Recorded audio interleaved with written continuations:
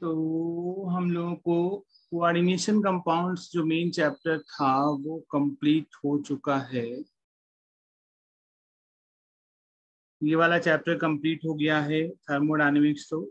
Equilibrium equilibrium नहीं complete हुआ था, लेकिन हाँ केमिकल बॉन्डिंग हो गया था जीओसी हो गया था।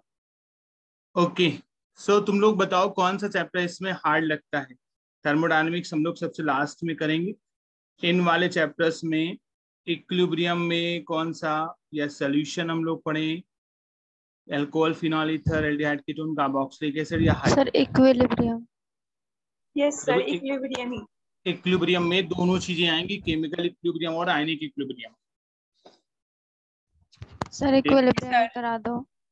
ओके यस सर ये ये वाला चैप्टर पढ़ा भी नहीं है। हाँ ये वाला चैप्टर पढ़ा भी नहीं है तो और तीन क्वेश्चन आते हैं इससे। तो यही स्टार्ट कर देते हैं ठीक है ना? ओके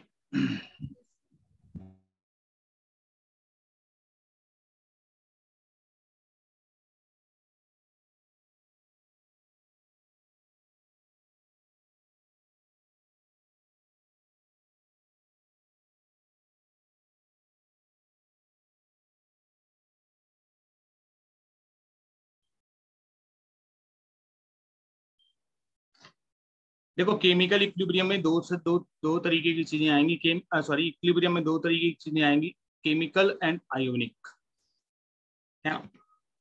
chemical equilibrium में क्या क्या चीज़ें हैं, वो हम लोग अभी देखेंगे।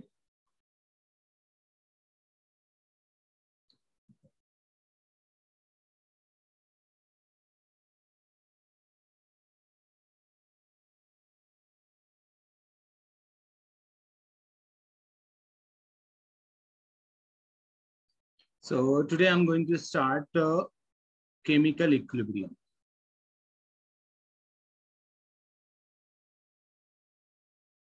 जिन लोगों ने पहली बार या बहुत दिनों बाद रिवाइज कर रहे हैं केमिकल इक्विलिब्रियम तो वो थोड़ा सा अच्छे से ध्यान देंगे। देखो केमिकल इक्विलिब्रियम को हम फिर से एक पार्ट में डिवाइड कर लेते हैं कि क्या क्या चीज़ें इसमें पढ़नी है। ठीक है? क्या क्या चीज़ें पढ़नी है? उसको पार्ट वाइज डिवाइड कर लेते हैं, फिर उसके बाद हम लोग आगे कहानी देखेंगे। तो केमिकल इक्विलिब्रियम में सबसे पहले हम लोग इक्विलिब्रियम क्या होता है?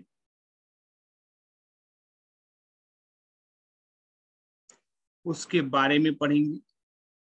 उसके टाइप्स पढ़ेंगे। कौन कौन से टाइप्स होते हैं इक्विलिब्रियम के? फ़िज़िकल इक्विलिब्रियम केमिकल इक्विलिब्रियम हम्म? और फिर उसके बाद हम लोग रेट के बारे में पढ़ेंगे। Rate of forward and backward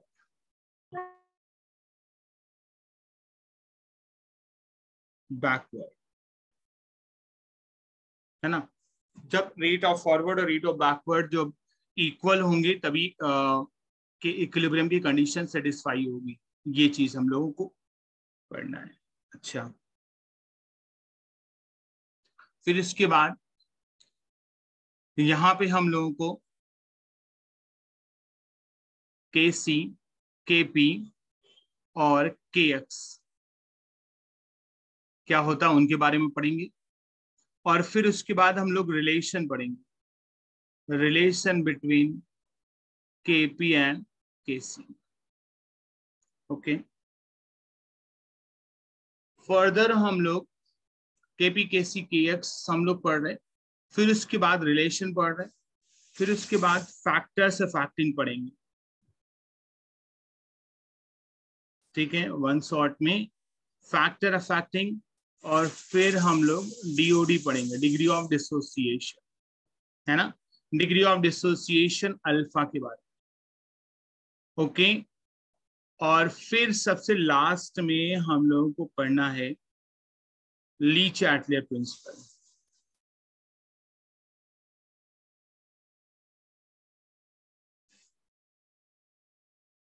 Le Chatelier principle इसके बारे में हम लोगों को देखना तो ये मेन मेन पॉइंट्स हैं। इन पॉइंट्स के बारे में हम लोगों को डिस्कस करना है।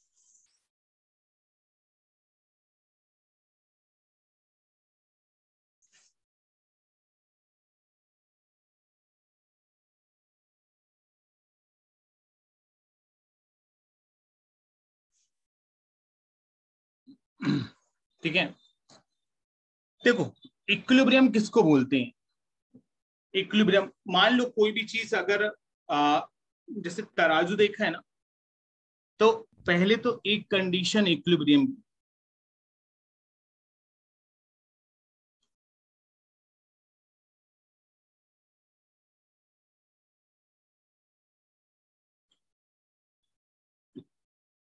एक रिएक्शन होती है रिवर्सिबल रिएक्शन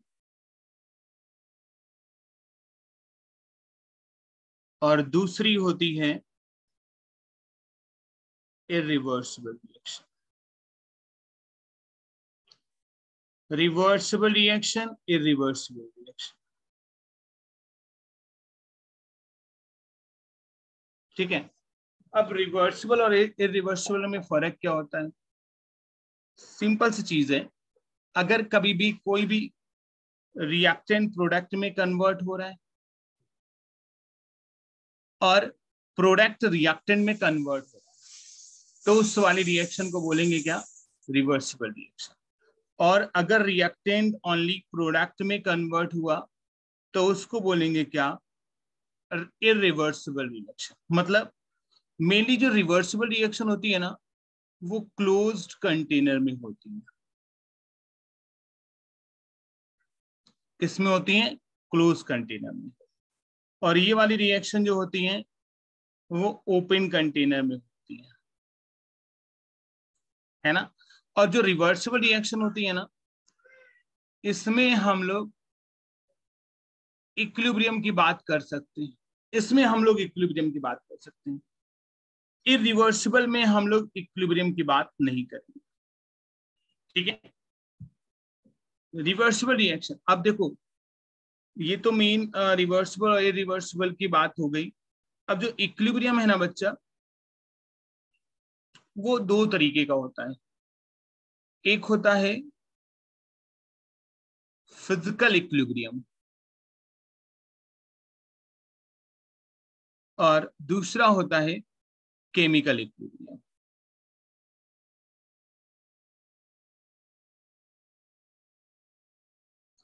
अब अगर हम बात करते हैं फ़िज़िकल इक्विलिब्रियम फ़िज़िकल इक्विलिब्रियम की अगर बात करते हैं तो क्या होगा?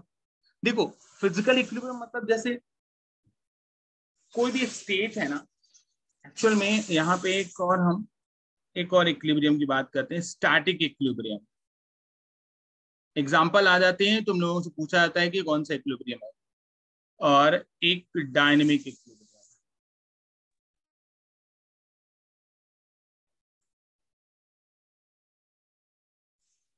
ठीक है? Static equilibrium and dynamic equilibrium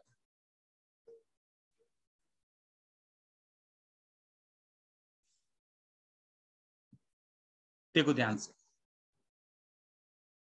static equilibrium की अगर बात करते हैं तो स्टैटिक इक्विलिब्रियम होता क्या है? जैसे बुक टेबल पे रखी हुई है, ये वाली जो बुक है ना, मान लिया, ये बुक जो है वो टेबल पे रखी अब टेबल पे रखी हुई है तो वो स्टैटिक ही है ना, और इक्विलिब्रियम में। So this is static equilibrium ठीक है? और डायनेमिक स्टैटिक इक्विलिब्रियम का एक एग्जांपल हम लिख दें। बुक ऑन द टेबल है ना? कौन सा चैप्टर करा रहे हो? बेटा केमिकल इक्विलिब्रियम इक्विलिब्रियम चल रहा है मतलब केमिकल और आयोनिक दोनों का मिक्स अब डायनेमिक इक्विलिब्रियम की बात करते हैं। डायनेमिक इक्विलिब्रियम में दो तरीके के आते हैं? डायनेमिक इक्विलिब्रियम में मतलब चीज़ें चेंज होती रहती हैं। डायनेमिक इक्विलिब्रियम में ही फ़िज़िकल एंड केमिकल आता है। ओके? अब फ़िज़िकल में क्या होता है कि फ़िज़िकल स्टेट चेंज होती है। लेकिन जैसे H2O है ना सॉलिड है ना सॉलिड से अगर H2O लिक्विड में कन्वर्ट हो रहा है और इनके बीच में इक्विलिब्रियम है तो उस इक्विलिब्रियम को बोलेंगे क्या? फ़िज़िकल इक्विलिब्रियम क्या बोलेंगे? फ़िज़िकल इक्विलिब्रियम अच्छा अब केमिकल इक्विलिब्रियम की बात। है इसमें केमिकल्स ही चेंज होगी। जैसे H2 I2 gives two times of H I हो गया। अब इसमें जो इक्विलिब्रियम है देखो यहाँ पे केमिकल चेंज है ना यहाँ पे एच टू गैस यहाँ पे केमिकल चेंज नहीं है यहाँ पे वाटर है और यहाँ पे भी वाटर केमिकल में कोई भी चेंजेस नहीं। सो so, अगर केमिकल में चेंजेस नहीं होंगे तो वहाँ पे इक्विलिब्रियम अगर होगा तो उस इक्विलिब्रियम को बोलेंगे क्या? फ़िज़िकल इक्विलिब्रियम ऑलराइट और अगर केमिकल चेंज है और केमिकल चेंज है उनके बीच में इक्विलिब्रियम है तो उसको क्या बोलेंगे? केमिकल इक्विलिब्रियम क्लियर बात इतनी? Reversible reaction irreversible reaction static equilibrium dynamic equilibrium chemical equilibrium and physical equilibrium okay जैसे अगर हमने सोडियम है, सोडियम को हमने सॉलिड में लिया और उसको सब्लिमाइन कर दिया, रिवर्सिबल कर दिया एन को हम गैस कर दिया। सब्लिमेशन प्रोसेस है कि नहीं है? अब सॉलिड से गैसेस में कन्वर्ट कर दिया, लेकिन केमिकल में चेंजेस नहीं। तो ये वाला क्या हो गया? Physical equilibrium. इसको क्या बोलेंगे? Physical equilibrium. Okay? Done? Sir reversible reaction closed container में होती है। Yes reversible reaction close container में होती है।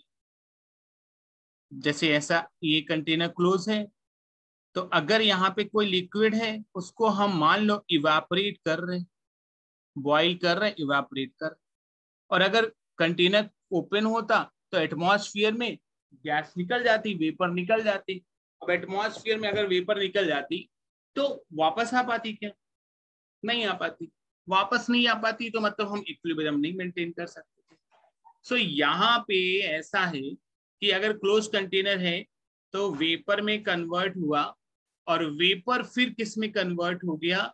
लिक्विड इवापोरेशन कंडेंसेशन प्रोसेस की बात करते हैं। ओके तो सर इसमें अमाउंट वगैरह भी चेंज नहीं होगा ना? अमाउंट भी सेम रहेगा और रिवर्सिबल में अमाउंट चेंज हो जाएगा। यस इसमें अमाउंट चेंज हो जाएगा क्योंकि कंटेनर ओपन है तो एटमोसफियर में कुछ भी उड़ गया है ना? चलो। ये तो इतनी छोटी सी बात। अब हम बात करते हैं कंडीशन की। Condition of equilibrium sir dynamic में बस फ़िज़िकल और केमिकल ही पढ़ना है। यस yes, डायनेमिक में फ़िज़िकल और केमिकल और मेनली हमें किसके बारे में पढ़ना है? केमिकल के बारे में पढ़ना है। और सर ये फ़िज़िकल केमिकल वही ऊपर वाले ही है ना? हाँ हाँ वही है। ओके सर ये वही ये वही okay so condition of equilibrium अगर इक्विलिब्रियम की कंडीशन हम लोग देखें तो क्या हो सकती है कंडीशन एक बात देखिए।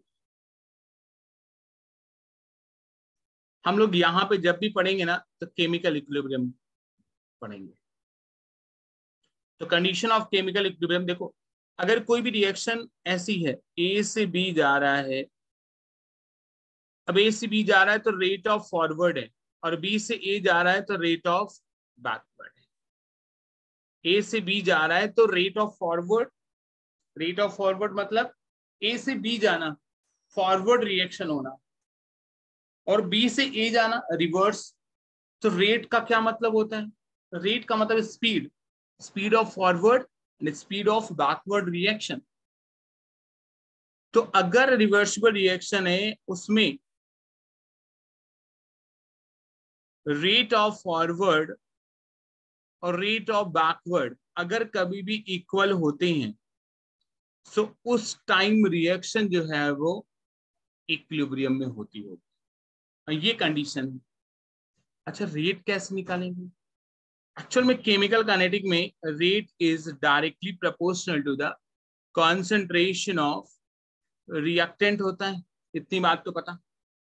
Rate is directly proportional to the concentration of reactant but obvious सी बात है। भाई रिएक्टेंट जितने जल्दी से रिएक्शन करेगा रिएक्शन उतनी तेज़ी भागेगी। भागेगी कि नहीं? तो भाई रेट रेट ऑफ़ तो अगर हम रेट फॉरवर्ड रिएक्शन का लिखें तो फॉरवर्ड ऐसे जा रही है। तो इसके लिए रिएक्टेंट क्या है? इतनी सो के ऑफ़ कॉन्सेंट्रेशन ऑफ़ ए अच्छा। बैकवर्ड के लिए के बी बैकवर्ड के लिए रिएक्टेंट क्या है? तो के ऑफ़ कॉन्सेंट्रेशन ऑफ़ ये है। अगर ये वाली इक्वेशन नंबर वन हम मान ले इक्वेशन नंबर टू अगर इन दोनों इक्वेशन को हमने बच्चा ऐड कर दिया सॉरी इसको इक्वेट कर दिया, क्योंकि कंडीशन है ना इक्विलिब्रियम की। अगर इक्विलिब्रियम की कंडीशन हमने क्या किया? रेट ऑफ़ फॉरवर्ड और रेट ऑफ़ बैकवर्ड इक्वेट कर दिया। तो इन वाले इक्वेशन को रखो। सो के एफ़ इज़ ए अब के बी बी सो so, हम ऐसा लिख सकते हैं क्या? K F upon K B is equals to B upon A अब के एफ़ वन के बी क्या हो गया है? के इक्विलिब्रियम है ना? के इक्विलिब्रियम तो ये concentration of B upon concentration of A ऐसा हो गया। तो हम लोगों ने वैसे भी पढ़ा हुआ है कि अगर किसी भी रिएक्शन का इक्विलिब्रियम कांस्टेंट निकालते हैं इक्विलिब्रियम कांस्टेंट निकालते हैं तो कॉन्सेंट्रेशन ऑफ़ प्रोडक्ट देखो ये इक्विलिब्रियम जो होता है के सी के पी और के एक्स ये तीन तरीके का होता है। Equilibrium constant in terms of concentration अगर equilibrium constant in terms of concentration बताया गया ठीक है? तो हम लोग ऐसा लिख सकते हैं केसी के टर्म्स में। देखो, बस रिप्रेजेंटेशन अभी क्वेश्चन देंगे। फिर केपी दे सकते हैं और के एक्स ले सकते ये, यही रिएक्शन हम लोग। एक रिएक्शन भी लिख लेते हैं। A times C plus B times B C times C D times ऐसी एक इक्वेशन लिखी है ना?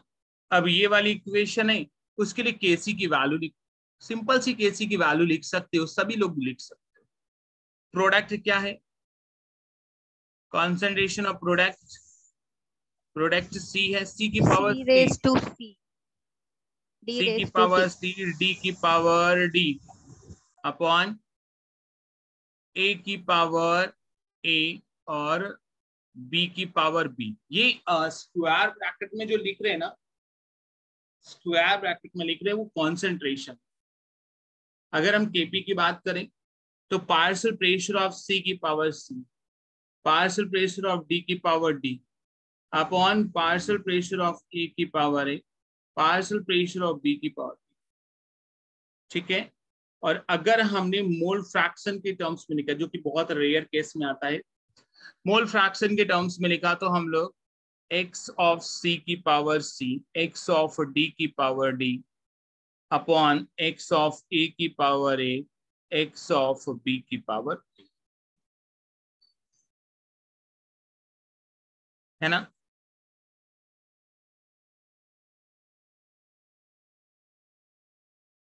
ये इक्वेशन होगी। अब अगर इनकी वैल्यू गिवन है तो आराम से हम लोग निकाल सकते हैं। फिर यहाँ पर भी के एक्स आएगा। कहाँ पे? यस ये के एक्स है।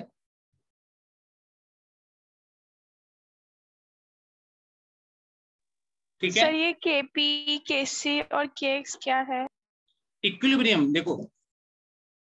Equilibrium constant in terms of ये इक्विलिब्रियम है ना? इक्विलिब्रियम कांस्टेंट ये concentration of B upon concentration of A मतलब concentration of product upon concentration of reactant तो इक्विब्रियम कांस्टेंट जो होता है ना, वो तीन तरीके से लिख सकते हैं। Equilibrium constant in terms of concentration equilibrium constant in terms of pressure और equilibrium constant in terms of mole fraction so इनका फॉर्मूला ये। Okay okay?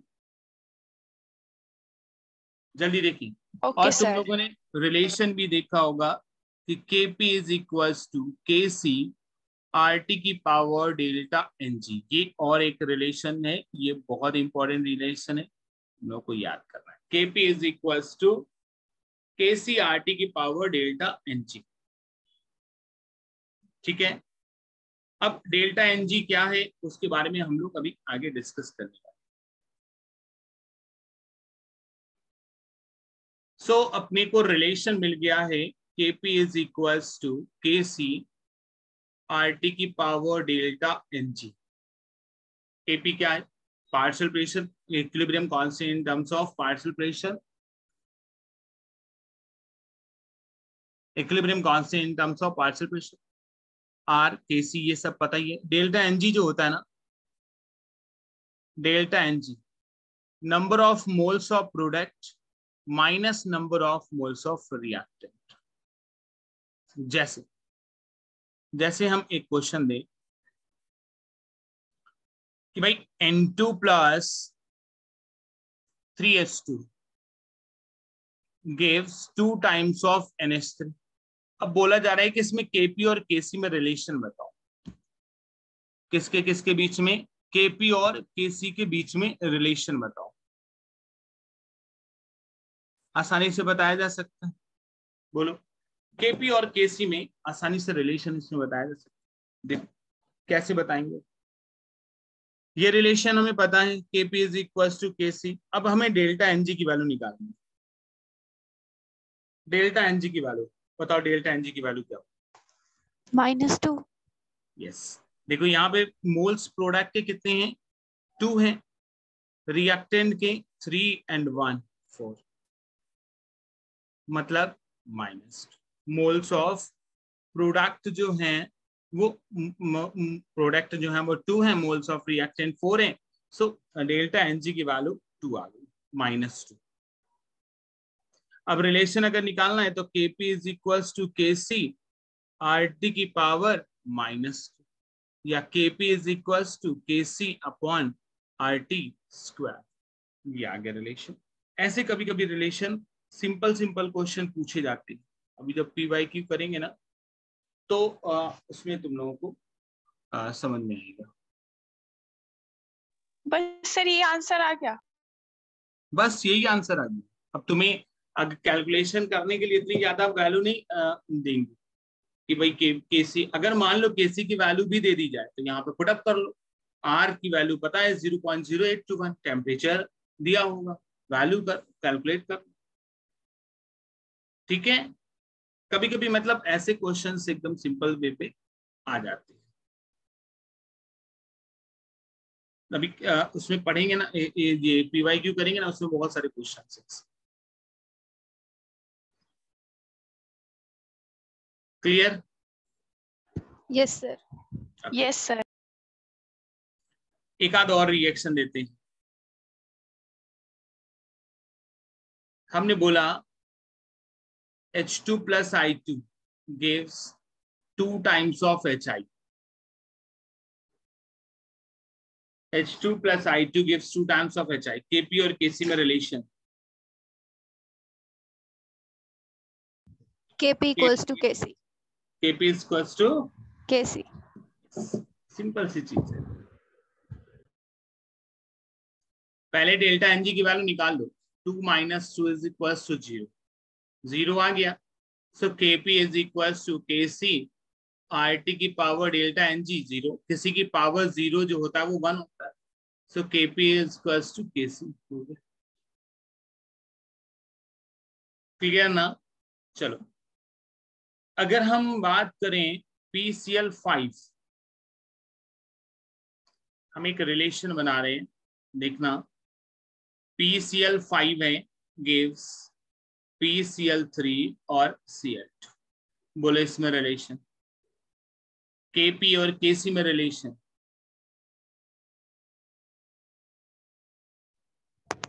Kp is equal Kp equals to KCRT. Kp is equals to Kc RT की power one है ना? क्योंकि delta NG की value two minus अच्छा ये तीन अलग अलग केसेस हैं। इन केसेस में देखो क्या हुआ है। इस वाले केसेस में डेल्टा एन जी की वैल्यू निगेटिव है। डेल्टा एन जी की वैल्यू ज़ीरो है और डेल्टा एन जी की वैल्यू पॉजिटिव है। ठीक है? अब देखो, अगर हमने बोला कि डेल्टा एन जी की वैल्यू निगेटिव आती है। तो केपी और केसी में क्या रिलेशन है? डेल्टा एन जी की वैल्यू अगर पॉजिटिव आती है तो केपी और केसी में कौन बड़ा है? डेल्टा एन जी की वैल्यू अगर ज़ीरो आती है तो केपी और केसी में कौन बड़ा है? ऐसा है। चलो, करो फटाफट।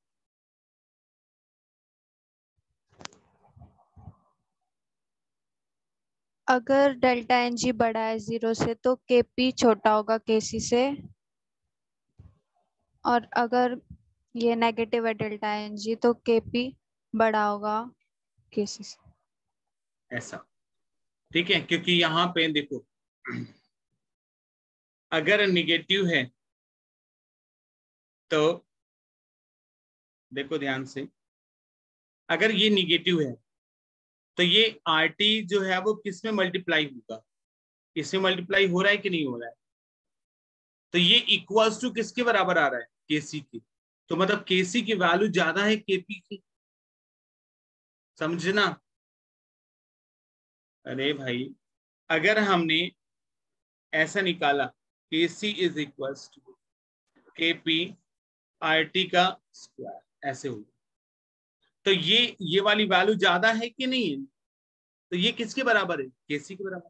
So KC is more than KP in case of delta n g is negative अगर डेल्टा एन जी निगेटिव है तो KC is more than KP अच्छा डेल्टा एन जी पॉजिटिव है तो? डेल्टा एन जी पॉजिटिव है तो? देखो यहाँ पे KP is equals to K C R T KP is equals to K देखो के और आर इसमें मल्टीप्लाई हुआ है और ये किसके बराबर है? केपी के। तो केपी इज़ मोर देन के और ये तो इक्वल करेक्ट डायरेक्ट वैल्यू पूछी जाती है। हाँ बोलो बेटा।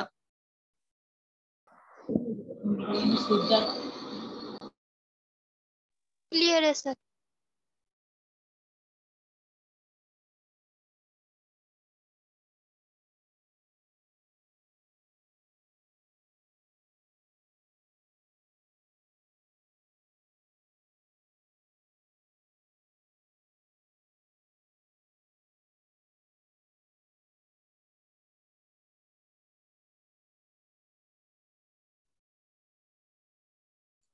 अब हम बात करेंगे कि फैक्टर है ना?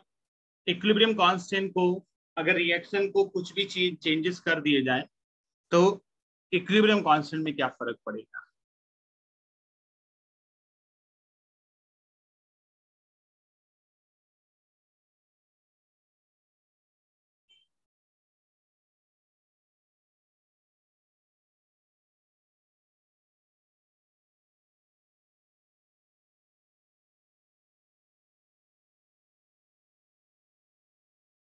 फैक्टर अफेक्टिंग इक्विलिब्रियम कांस्टेंट क्या फैक्टर अफेक्ट कर सकते देखो, सबसे पहला,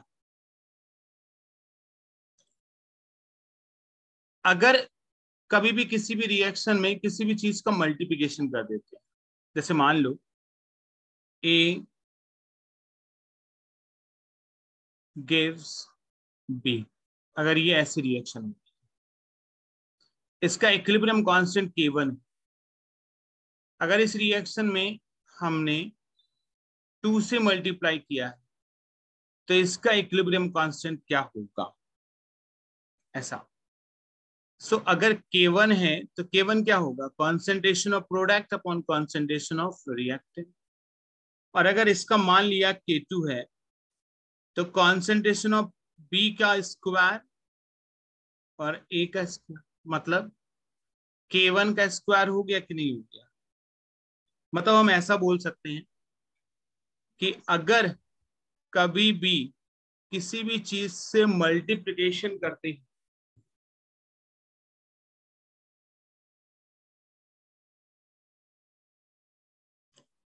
इक्विलिब्रियम की रिएक्शन में अगर किसी भी चीज़ से मल्टीप्लाई करते हैं तो वो एक, वो जो जिस डिजिट का मल्टीप्लिकेशन करते हैं, वो उसकी पावर में चला जाता है।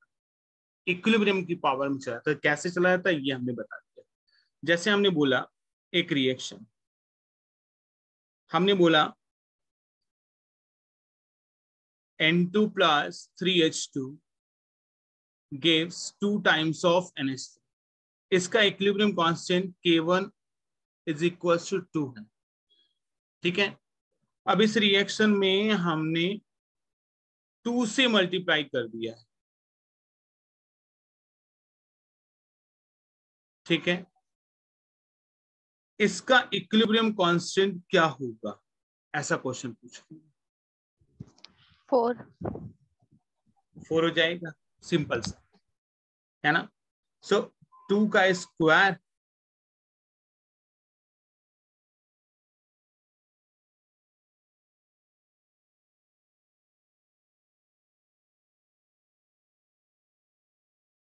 तो ये तो मल्टीप्लिकेशन की बात हुई। अगर हम किसी भी चीज़ का डिवीज़न करते हैं डिवीज़न मतलब जैसे एक कोई रिएक्शन है H two plus I two gives two times of H I हमने इस रिएक्शन में क्या किया कि हाफ़ या वन टू से डिवाइड कर दिया इस पूरी रिएक्शन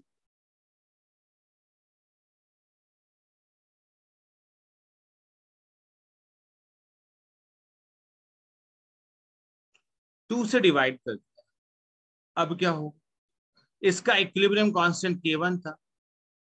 इसका के टू और के वन के टर्म्स में क्या होगा? ऐसा बोला। अगर किसी भी चीज़ का डिवीज़न करते हैं तो वन बाई टू अगर टू से डिवाइड कर तो वन बाई टू से मल्टीप्लाई भी तो कर रहे एक ही बात है टू से डिवाइड कहो, चाहे वन बाई टू से मल्टीप्लाई बात एक ही। बोलो। टू से डिवीज़न कहो चाहे one by two one by two से मल्टीप्लाई को बात एक ही चलो। तो अगर रूट हो जाएगा। यस केवल रूट हो जाएगा। के वन की पावर वन बाई टू जिस चीज़ का डिवीज़न करते हैं वो वन अपॉन की पावर में चला जैसे हमने टू से डिवाइड किया है ना यहाँ पे तो वन अपॉन टू थ्री से डिवाइड किया है वन अपॉन ऐसा हो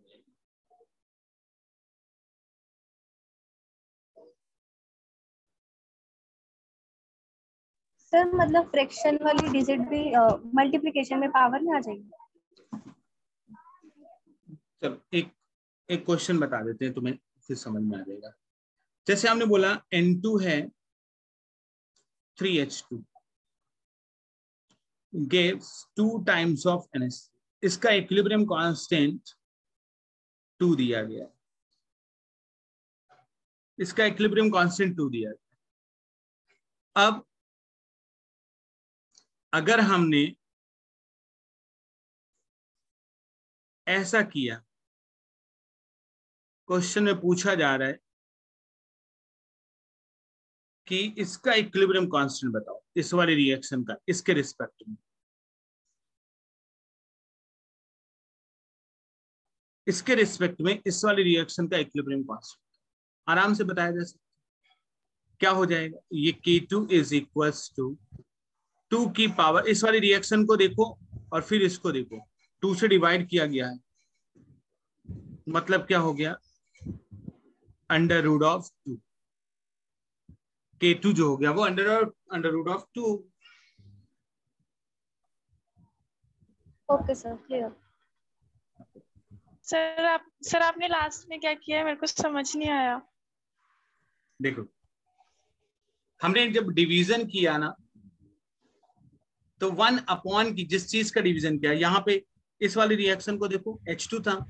अब इस वाली रिएक्शन को वन बाई टू से मतलब टू से डिवाइड किया है। देखो सब में टू से डिवाइड किया है। तो इक्विलिब्रियम कांस्टेंट जो हो जाएगा वन बाई टू हो जाएगा। अच्छा देखो यहाँ पे।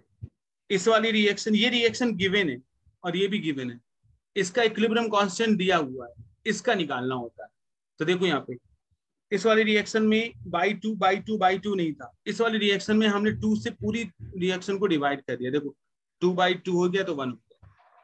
तो इक्विलिब्रियम कांस्टेंट क्या हो जाएगा वन अपॉन टू हो जितने से डिवाइड okay, करते हैं ना वो वन अपॉन में चला सर अगर यहाँ पर हम वन बाय थ्री से डिवाइड कर रहे हो तो यहाँ पर वन बाय थ्री आ जाएगा। वन बाई थ्री से डिवाइड कर रहे हैं ना। वन बाई थ्री से डिवाइड ना देखना। जैसे अगर हम ए है बी है सी है इसका इक्विलिब्रियम कांस्टेंट के वन है। One by three one by three से डिवाइड कर रहे हैं ना? Okay one upon one by three ऐसा ना? यही तो डिवीज़न होगा वन बाई थ्री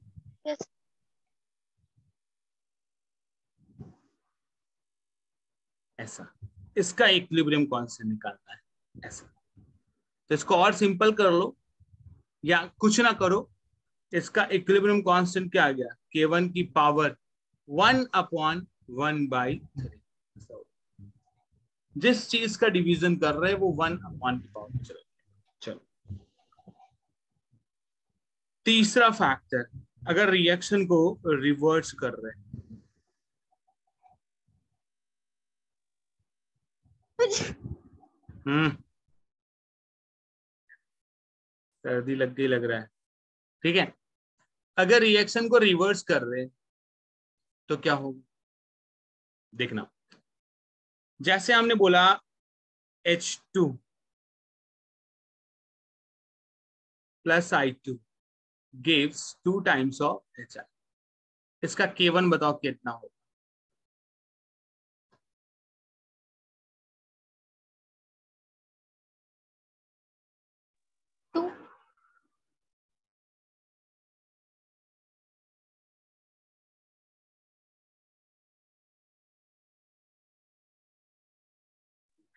Zero?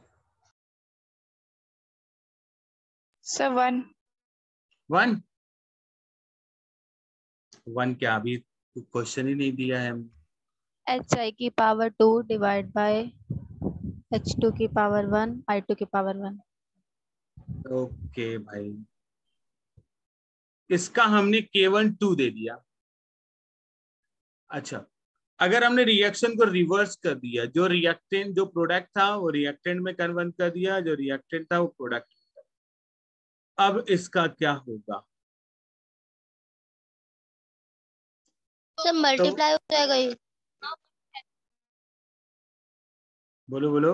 इस रिएक्शन को हमने रिवर्स करके ये बनाया है। उल्टा हो जाएगा वन बाय टू यस उल्टा हो जाएगा वन बाई टू एकदम सही बोला। कैसे हो जाएगा? ऊपर भी तो रिवर्सिबल का साइन है और नीचे भी रिवर्सिबल का साइन है। नहीं, बताओ मैं देखो यहाँ पे। इस समय तो ये लेफ़्ट हैंड साइड में है ना। अब अगर इसको रिवर्स कर दिया गया तो ये राइट हैंड साइड में आ गए कि नहीं आ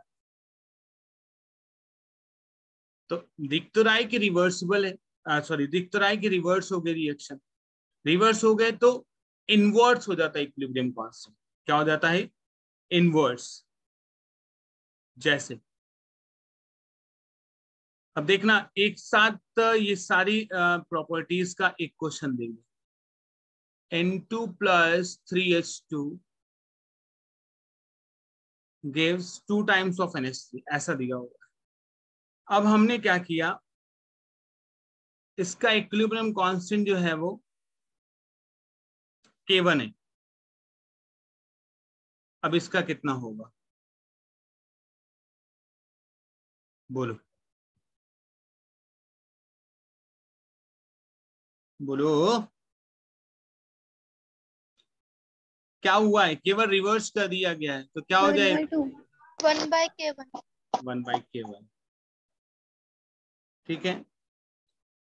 अगर ऐसा दिया हुआ है N two plus three H two gives two times of N S three K one दिया हुआ है टू ठीक है? अब इस रिएक्शन को हमने क्या किया? Two N S three sorry NH3 gives half N2 and 3 by 2 H2. अब ये K2 है. वो K2 क्या होगा? निकाल के बता one by by two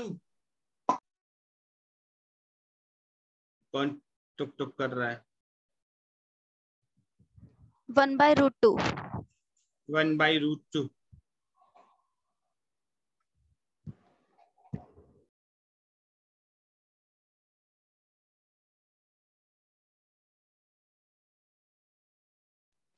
one by one upon में टू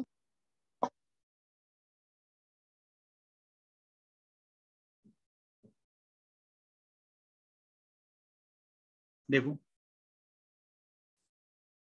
क्या किया गया? पहले तो रिवर्स रिवर्स किया गया। रिवर्स किया गया तो वन बाई टू हो गया। और क्या किया गया बताओ? रिवर्स वन करने टू से डिवाइड हाँ वन बाई टू से डिवाइड नहीं टू से डिवाइड कौन?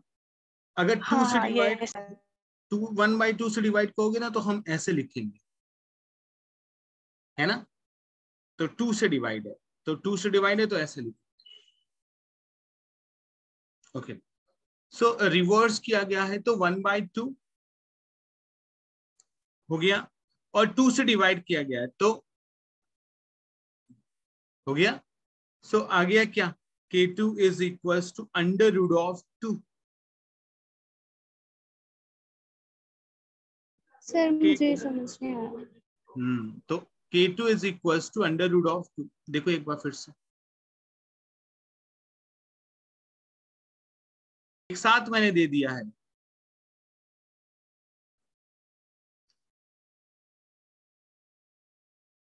इस वाले रिएक्शन को पहले देखो। इस वाले रिएक्शन को।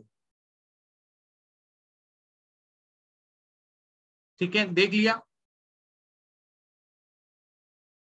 देखा? सर अब इस वाली रिएक्शन को देखो।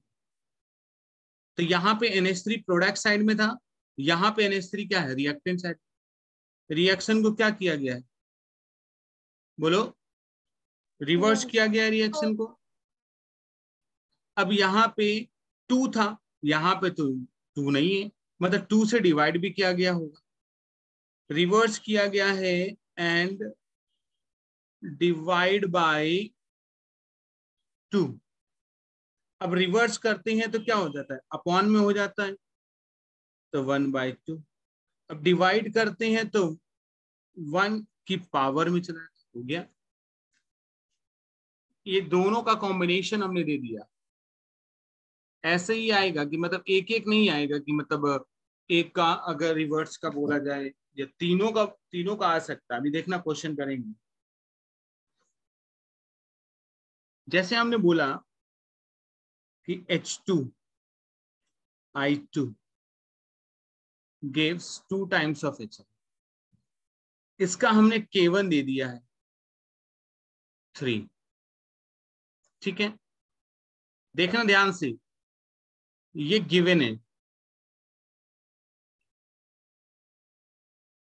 Find equilibrium constant for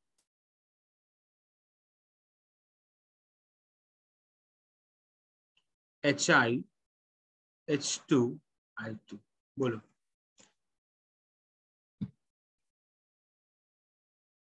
One by root two two नहीं है याद रखना। देखो गिवन में क्या है? वन बाय रूट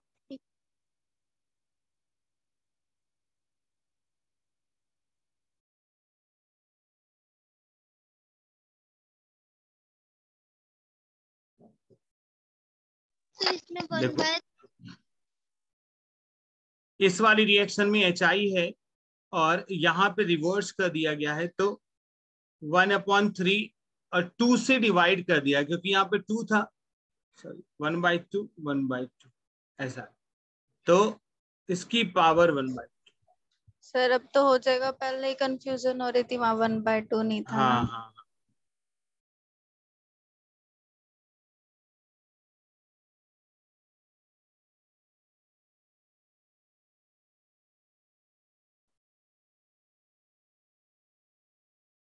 हम एडिशन की बात करते हैं।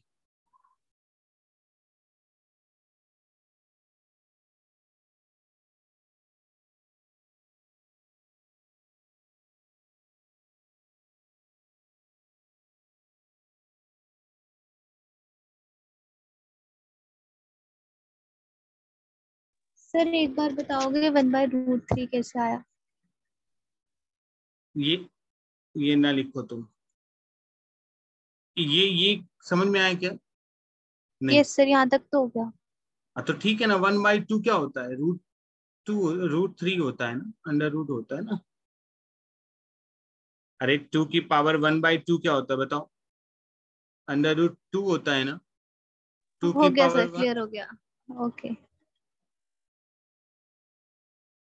ओके नेक्स्ट फैक्टर है अगर किसी भी तीन चार रिएक्शन को हम ऐड कर देते हैं।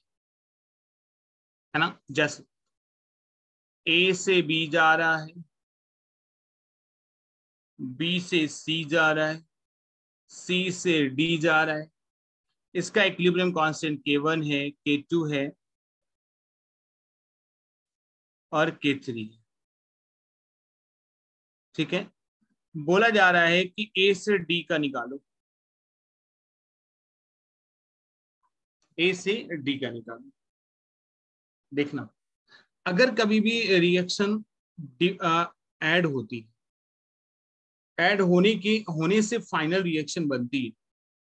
अगर कभी भी रिएक्शन को ऐड करने से फाइनल रिएक्शन बनती तो उसका इक्विलिब्रियम कांस्टेंट जो हो जाता है इस वाले रिएक्शन का, वो जितनी भी ऐड करी हुई रिएक्शन है ना, उनका मल्टीप्लीकेशन हो जाता है। K one K two and K three K1, K2 and K3 ऐसा होता है। ऐसा क्यों होता है? वो यूँ बता रहा हूँ। K1 क्या हो जाएगा? Concentration of B upon concentration of A K two क्या हो जाए concentration of C upon concentration of B. K3 क्या हो जाए concentration of D upon concentration of C. अब A से D इन तीनों को ऐड किया है। मतलब इन इन तीनों को ऐड करो। तो A plus B plus C ठीक है? B plus C plus D ऐसा है। इसके लिए हमें निकालना है। तो इसके लिए अगर के इक्विलिब्रियम लिखा जाए तो क्या होगा? Concentration of B upon concentration of A या concentration of product product B C D और reactant concentration of A B और सी देखो, ये कुछ ना कुछ वैल्यू गिवन है यहाँ पे। देखो बी अपॉन ए क्या है? के वन सी अपॉन बी क्या है? के टू डी अपॉन सी क्या है? के थ्री मतलब के वन के टू और के थ्री मतलब अगर कभी भी रिएक्शन को ऐड करते हैं, कभी भी अगर रिएक्शन को ऐड करते हैं तो जो इक्विलिब्रियम कांस्टेंट होता है ना जो इक्विलिब्रियम कांस्टेंट होता है वो मल्टीप्लिकेशन में चला जाता है। वो किसमें चला जाता है? मल्टीप्लिकेशन में चला जाता है। Correct yes sir okay sir और सर आपने इसका प्रूफ दिखाया कैसे आया? हाँ। ये प्रूफ दिखा है। अगर तुम्हें ये मतलब याद ही करना है तो याद कर सकते हो। सर अगर हमें फाइनल रिएक्शन नहीं दे रखी होगी तो पहले हमें फाइनल रिएक्शन निकाल के फिर उनका हम्म। तीनों का मल्टीप्लाई कर सकते हाँ। अगर फाइनल रिएक्शन नहीं दी हुई वैसे तो फाइनल रिएक्शन दी जाएगी क्योंकि बिना फाइनल रिएक्शन से हमें पता नहीं चलेगा ना कि एडिशन हो रहा है कि मल्टीप्लिकेशन हो रहा है कि सब्सट्रैक्शन हो रहा है। तो फाइनल रिएक्शन दी जाएगी। जैसे मान लो इधर हम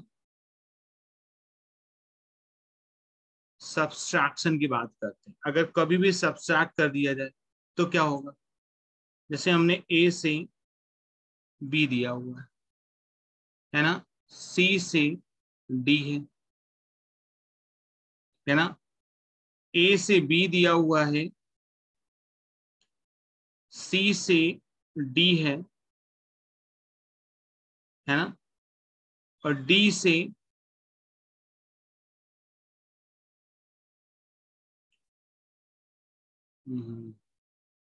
वन सेकेंड ए से बी दिया हुआ है बी से सी दिया हुआ है। सी से डी से सी दिया हुआ है। अब रिएक्शन बनानी है ए से डी इसका equilibrium constant K one K two K three इसका क्या होगा? जल्दी बताएँ।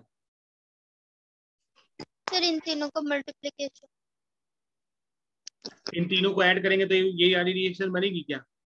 मुझे तो नहीं लगता है।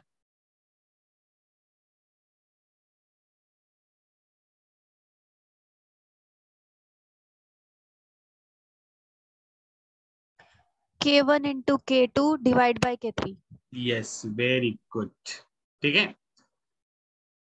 इन दोनों को ऐड किया है इसको माइनस किया है। मतलब ऐसे किया है। A plus B minus D ठीक है? B plus C minus C अब देखो, ये वाली रिएक्शन यही बनी कि नहीं मैंने सी सी कैंसिल हो गया बी बी कैंसिल हो गया ए माइनस डी हो गया डी इस साइड आ जाएगा। तो वही वाली रिएक्शन तो हो गई। ठीक है? मतलब हमने फ़र्स्ट प्लस सेकेंड किया और थर्ड को माइनस किया। तो फ़र्स्ट प्लस सेकेंड मतलब K one into K two और थर्ड को माइनस किया, ये थ्री ऐसा हो जाएगा। ठीक है? तो अगर जिसका माइनस करते हैं ना, वो डिवीज़न में आ जाता है। किसी भी चीज़ का, अगर इक्विलिब्रियम कांस्टेंट अगर कोई भी रिएक्शन का दिया हुआ है, और उन रिएक्शन को हम माइनस कर रहे हैं तो इक्विलिब्रियम कांस्टेंट डिवीज़न में आ जाता है। एक बार फिर से, अगर देखो, चार चीज़ें हैं। मल्टीप्लीकेशन करना है तो पावर में चला जाए। डिवीज़न करना है तो वन अपॉन की पावर में चला ठीक है ना? रिवर्स करना है तो इनवर्स हो जाएगा। एडिशन करना है तो मल्टीप्लीकेशन हो जाएगा और सब्सट्रैक्शन करना है तो डिवीज़न में हो जाएगा। इतनी बात क्लियर है कि नहीं? यस सर ठीक है? तो बस पानी वानी पी लो तुम लोग। नेक्स्ट क्लास चालू होने वाली है। और सर ये डी को नेगेटिव क्यों लिया? इसमें और माइनस सी क्यों लिया? ये वाली चीज़ एक बार रिपीट अच्छा कर दीजिए। ए अगर हमने ऐसा लिखा इन तीनों को अगर ऐड करते हमें डी तो प्रोडक्ट साइड में चाहिए ना? ये ये वाली रिएक्शन चाहिए ये सब गिवन है और ये फाइंड करना है। तो यहाँ पे डी रिएक्टिव साइड में और यहाँ पे प्रोडक्ट साइड में चाहिए। तो इसको हमें माइनस करना पड़ेगा ना? तभी ये माइनस है तो प्रोडक्ट साइड में आएगा। तो अगर इसको इस वाली रिएक्शन को माइनस किया है तो A plus B minus D B plus C minus C हो गया। ऐसा है। ठीक है? और सर एडिशन और सब्ट्रैक्शन में पता किस चलेगा कि ये क्वेश्चन एडिशन का है और ये सब्ट्रैक्शन का है? हाँ अगर ये तुम अगर ऐसा ए से डी निकालना है अब तुम बताओ ये वाली रिएक्शन दी गई है इससे कैसे ए से डी बना सकते हो? वो तो तुम्हें तुम्हारा दिमाग है ना।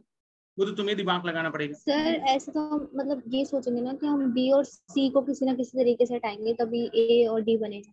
बताओ कैसे बनेगा? कैसे बनेगा? कुछ पॉसिबिलिटी तो बताओ ना। अपने आप समझ में आ जाएगा। इन तीनों रिएक्शन की हेल्प से हमें ए से डी बनाना बस। बोलो। बाकी सब कैंसिल आउट होनी चाहिए। भाई ये तो कैंसिल हो गया ना। सॉरी ये कैंसिल हो गया। हमने जो बनाया था A minus D is equal to zero so A equal to D ये तो हमने बना दिया अब तुम लोगों का क्या दिमाग चल रहा बताओ? ए से डी कैसे बनेगा?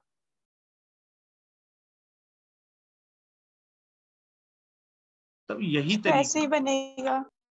यही तरीका है और एक और ज़्यादा तरीका कुछ नहीं है। ठीक है? सो इसके पीवाईक्यू के साथ हम लोग नेक्स्ट लेक्चर में मिलते हैं। ठीक है थोड़ा सा चैप्टर ली चैप्टर प्रिंसिपल हम लोग आगे पढ़ने वाले। चलो ओके ठीक है? Done okay thank you sir thank you so much thank you good night sir